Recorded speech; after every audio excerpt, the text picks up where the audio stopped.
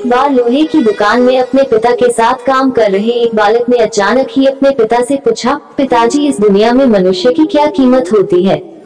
पिताजी एक छोटे से बच्चे से ऐसा गंभीर सवाल सुनकर हैरान रह गए।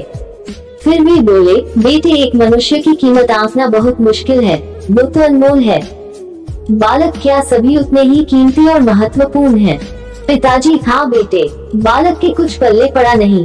उसने फिर सवाल किया तो फिर इस दुनिया में कोई गरीब तो कोई अमीर क्यों है? किसी की कम इज़्ज़त तो किसी की ज़्यादा क्यों होती है?